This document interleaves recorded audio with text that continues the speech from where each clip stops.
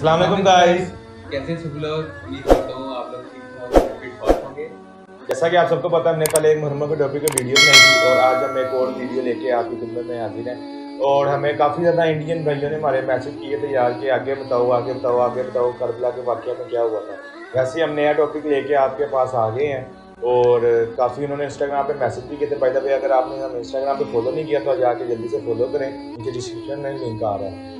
और चलते हैं वीडियो की जाने दुनिया में रसूल अल्लाह के खानदान के मर्दों की शुजात और रसूल अल्लाह के खानदान के औरतों का पर्दा हर खास आम के लबों पे कसीदा बना हुआ था। हर इंसान रसूल अल्लाह के खानदान के मर्दों की शुजात के किस्से बयान करता था। या रसूल अल्लाह के खानदान की औरतों के पर्दे की मिसाल दिया करता था। यजीद ने ये चाहा कि आले रसूल के मर्दों को बेदर्दी से कत्ल किया जाए, उनकी लाशों को पामाल किया जाए और रसूल अल्लाह की बेटियों को बेपर्दा करके बाजारों में फिराया जाए। लोगों के दिलों से उनके मर्दों की शुजात भी खत्म हो जाएगी और उनके दिलों से रसूल अल्लाह की बेटियों के पर्दे का एहतराम भी खत्म हो जाएगा। बस करबला के बाद रसूल अल्लाह के नवासी की लाश को पामाल करके बीबियों के खयाम को जला के तारीख ने लिखा रसूल अल्लाह की बेटियों के सरों से चादरों को लूटा गया। कभी शिमर बीबी सकीना को तमाचे मारता है, कभी कोई जालिम बीबियों को ताजिया नहीं मारता है। जब फौज यजीद, इमाम सज्जाद के पास पहुँची और चाहा कि रसूल अल्लाह के इस चराग को भी बुझा दे तो बीबी जैनब सलाम उन जालिमों से आके कहती है ऐ लोगो ये रसूल अल्लाह के घर का आखिरी चराग है। अगर इसको बुझाना चाहते हो तो इससे पहले हम बीबियों को भी शहीद कर दो। यजीद के फौजियों ने इमाम सज्जाद को हाथ लगाया तो उनका जिस्म बुखार में गर्म था। फौज यजीद ने कहा, ये तो बहुत ही बीमार है। शायद रस्ते की सख्ती ही ना देख पाए और रस्ते में ही शहीद हो जाएगा। बस बीबियों को रस्सियों से बाँध के उस कैदी बीमार सैयद को जंजीरों में जकड़ के तोक के साथ कूफे और शाम की तरफ़ ले जाया गया। तारीख ने लिखा रसूल अल्लाह के खानदान के मर्दों के सर नहजों पे सवार थे और रसूल अल्लाह की बेटियाँ बेपर्दा कैद होके चल रही थी और फौजे यजीद झूम रही थी, खुश हो रही थी कि हमने रसूल का बदला रसूल के खानदान से ले लिया। अब जब हम यजीद के दरबार पहुँचेंगे तो वो हमारी झोली याकू तो मरजान और सोने से भर देगा। लेकिन कूफे का गवर्नर उबैदुल्ला इब्न जियाद ने पैगाम अगर दोस्तों आपको इब्ने ज़ियाद का पता नहीं है तो इब्ने ज़ियाद मरजाना नदी का बेटा है और यजीद, जो रिश्ते में यजीद के चाचे का बेटा लगता है। तो अगर आपको इसका जो असल नाम है, वो उबैदुल्ला है। तो अगर आपको इब्ने ज़ियाद का नहीं पता तो आप मैं डिस्क्रिप्शन में उसकी एक अलहदा वीडियो भी डाल दूँगा। आप वहाँ जाकर भी उसके बारे में देख सकते हैं। तो स्टार्ट करते हैं। भिजवाया कि पहले रसूल अल्लाह के खानदान को कूफे लेके आओ। इनकी गुर्बत का तमाशा पहले मैं देखूँगा। उसके बाद यजीद की दरबार लेके जाना। उबैदुल्लाह ने भी यही हुक्म नाफिज किया कि जब कूफे में रसूल का खानदान आए तो हर कोई छत के ऊपर जाके इनको पत्थर मारे। बस कूफे की गलियों से रसूल अल्लाह का खानदान गुजरता रहा। कहीं से कोई पत्थर मारता है, कहीं से कोई तोहीन करता है, कहीं से कोई बागी कहता है तो कहीं से कोई बेपर्दा बीबियों का तमाशा देखता है। बीबी जैनब और उम्मे कुलसूम अपने नाना की उम्मत को देख के सब्र करती हैं। बस जैसे ही कूफे के दरबार पहुँचे तो इब्ने जियाद ने कहा, शिमर, रसूल के खानदान के इस एक मर्द सज्जाद को क्यों छोड़ा है? इसको क्यों नहीं कत्ल किया? शिमर।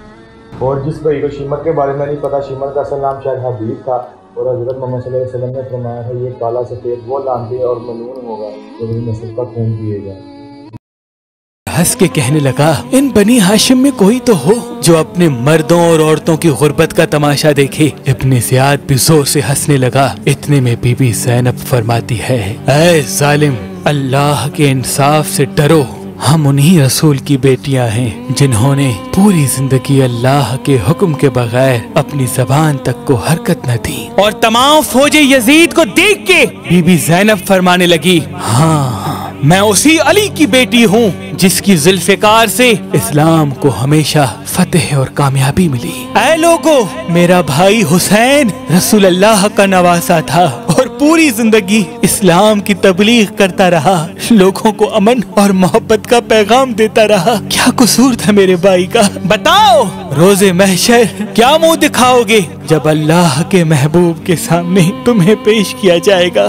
फौजे यजीद ज़ोर ज़ोर से हंसने लगी और बीबी जैनब और इमाम सज्जाद उन मुर्दा लोगों के मुर्दा जमीर को बेदार करने लगे। इतने में इब्ने जियाद कहता है कि अपनी फतेह का तमाशा किसको दिखाऊँ? कोई जालिम कहता है, ऐ हमारे आका, आपकी कायद में रसूलुल्लाह के खानदान से प्यार करने वाला मुख्तार सकफी है। उसको बुलाओ। वो कहता है हाँ मुख्तार को लेके आओ। बस जैसे ही जंजीरों में जकड़ के जनाब मुख्तार सकफी को लेके आते हैं और इब्ने जियाद खुशी से कहता है, ऐ मुख्तार तू तो औलाद रसूल औलाद अली का चाहने वाला है। देख, हमने इनका क्या हशर किया। जनाब मुख्तार, देखें कि कटे हुए सर नौके नैदा पे बुलंद है और इमाम हुसैन का सर इब्ने जियाद के सामने रखा है और वो उसकी तोहीन कर रहा है। उनको जला लाया और चाहा इस मरजाना के बेटे के जिस्म से सिर को अलग कर दूँ। इतनी देर में इमाम सज्जाद हज़रत मुख्तार के कंधे पे हाथ रख के कहते हैं चचा मुख्तार ये सर अकेले नहीं इन कटे हुए सरों के साथ रसूल अल्लाह की बेटी अभी कैदी दरबार में खड़ी है हज़रत मुख्तार चीख के रोते हैं और रसूल अल्लाह की दरबार में फरियाद करते हैं कि या रसूल अल्लाह इन जालिम लोगों ने दौलत और ताकत के नशे में आपके खानदान के साथ वो जुल्म किया जिसको तारीख कभी भुलाएगी नहीं। फिर अपने जियाद ये हुक्म देता है कि फतेह का जश्न तो अभी शाम में बाकी है। रसूल अल्लाह के खानदान को ऐसे ही कैदी बना के शाम की तरफ़ ले जाओ ताकि यजीद ये जान ले कि हमने उसके हुक्म के सामने रसूल के खानदान पे भी रहम न किया। लेकिन अल्लाह का अदल अभी बाकी था।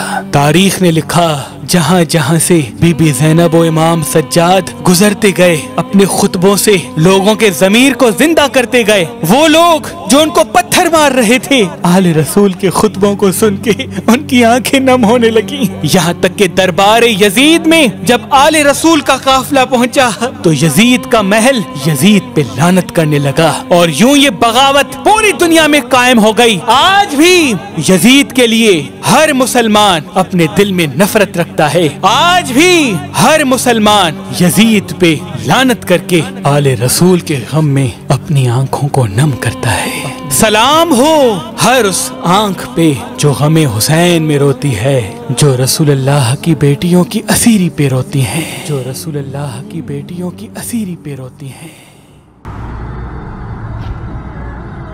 जैसा कि आपने देखा कि उस शिमर ने दुनिया के माल के पीछे अपनी आखिरत बुला दी और सोने के पीछे उसने हमारे का ख़ानदान को कितने जुलम किया उस पर और क्या लफ्ज़ ही नहीं है बंदा क्या कहे अगर कोई गलती बताई होगी तो माफ़ कर दिएगा तो अगर आपको वीडियो अगर आपको अच्छी लगी हो अगर हमारे से कोई अल्फाज में गलती आ गई हो तो यार ज़रा मादर माजरत है तो अगर आप हमें चाहते हैं किसी और वाक्य की हम रिएक्शन वीडियो बनाएँ तो आप हमें कमेंट में ज़रूर बता सकते हैं।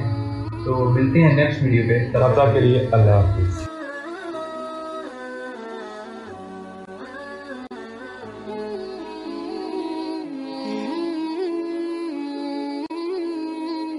Thank